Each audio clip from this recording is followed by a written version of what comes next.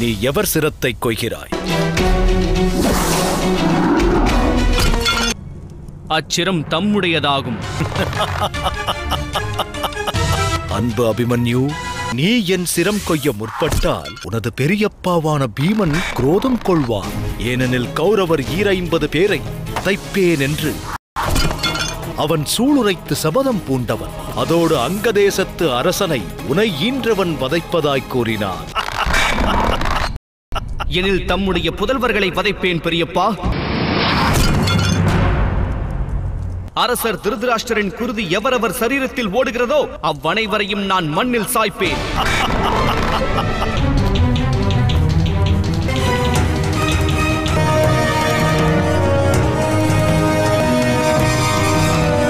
அன்பு அபிமன்யு மேலும் இரண்டு சிரங்கள் உள்ளன. அவற்றையும் நீ கொய்ய வேண்டும். உனது தாய்மாமனான கிருஷ்ணன் தமையனான பலராமன். ஏனெனில் உன்னுடைய மாமா அவர்கள் எனக்கு ஆதரவு தருவதாக வாக்களித்தார்கள். அவருடைய சிரத்தையும் கொய்வாயா?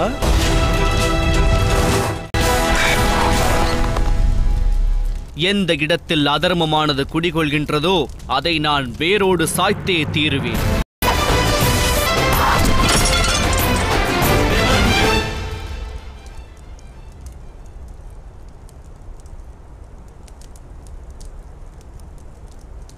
சிரமானது கொய்யப்படவில்லை?